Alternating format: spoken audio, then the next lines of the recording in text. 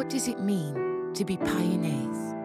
Our company has been here well over a hundred years, looking for answers, working to help protect communities. Reimagining what's possible.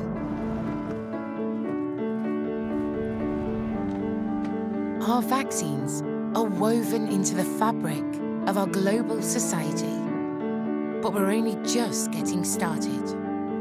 We've given the world a multitude of firsts, working tirelessly to help prevent infectious diseases for a more equitable future. We're experts at researching, innovating, and pushing the boundaries of what is known. We don't give up. Where there's unmet need, that's where we want to be.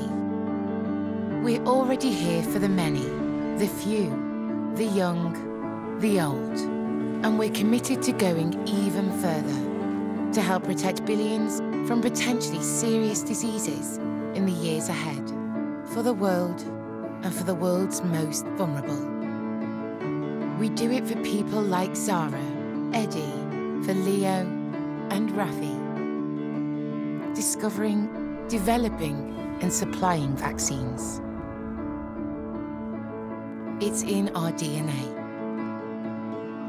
For the past century and into the next one. We are Merck.